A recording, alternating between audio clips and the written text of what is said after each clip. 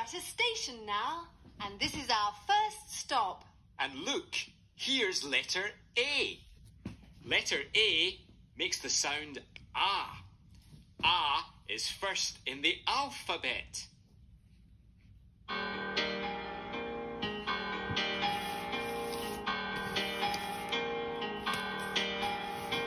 Ah is first in the alphabet.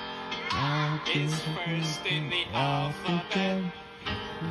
Is first in the alphabet. The alphabet starts with A. Listen out for the ah sounds here.